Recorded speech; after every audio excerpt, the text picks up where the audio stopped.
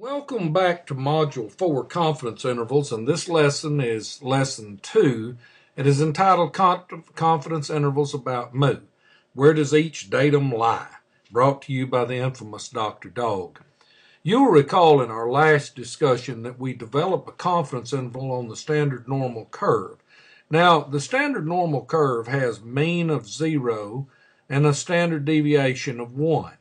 So the confidence interval that we selected was simply a z-score which traps a certain percentage of data. In this case, we chose to trap 95% of the data.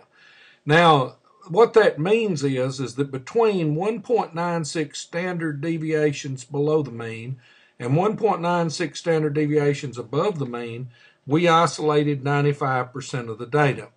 Now, the issue for us becomes if we have a standard normal curve with z-scores and we can trap 95% of the data, how might we transition into a normal curve with mean of 20, say, and standard deviation of 2 to develop a lower bounds and an upper bounds that would allow us to trap 95% of the data?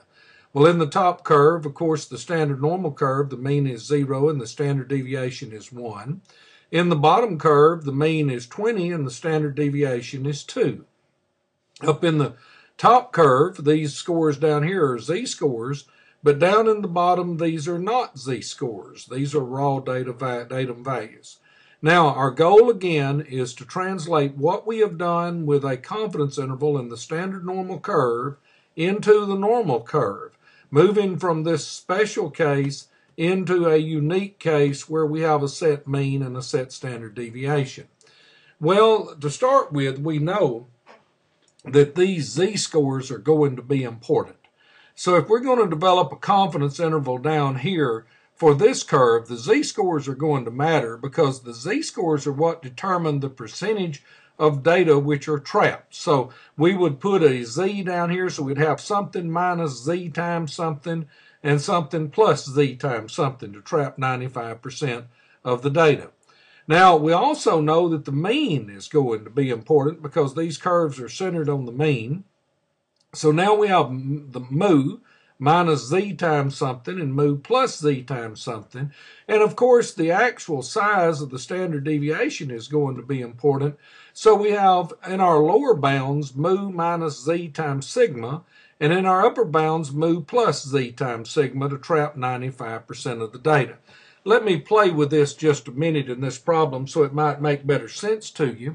What we have, have here, if we ignore equals 95%, we have the general formula to trap uh, a, a, a given percentage of data between a lower bounds, which is mu minus z sigma, and an upper bounds, which is mu plus z sigma.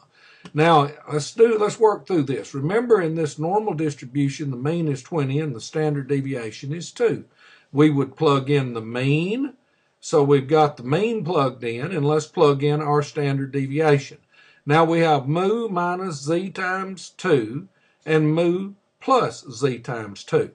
Now, since we're looking for 95% of the data, the z-score, which traps 95% of the data, is a very specific z-score. 1.96 standard deviations below and 1.96 standard deviations above will trap 95% of the data. In other words, we now have 20 minus 3.92 because we would do our multiplication first. And then we have a boundary of 16.08 and 23.92. The idea being that when mu is 20 and the standard deviation is 2, we between 16.08 and 23.92 we trap 95% of the now what i've done here is illustrate for you that 16.08 is a lower bounds 23.92 is an upper bounds and 95% of the data are contained within this interval. Now we're 95% certain that if we randomly select a datum value that that datum value will fall in a range between 16.08 and 23.92. We are also 5% certain that a randomly selected data will fall outside this range. Because 95% fall in the range, 5% fall outside the range.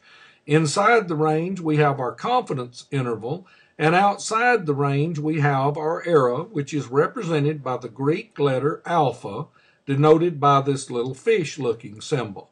And in this case, alpha is 5% or 0.05. The confidence interval is 95% and alpha is 0.05. We have the alpha or the error split in half on each end. We have 5% total.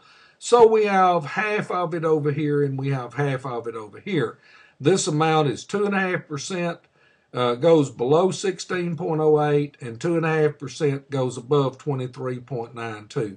Isn't this an incredible situation that you have just developed a confidence interval for the scatter of data around a mean, a given mean with a set standard deviation? You've done well, Pilgrim, to come so far with so much hair, with so many after it. Now, those of you that looked for that line in Mountain Men found out I just had a little joke with that. It's actually in the movie Jeremiah Johnson.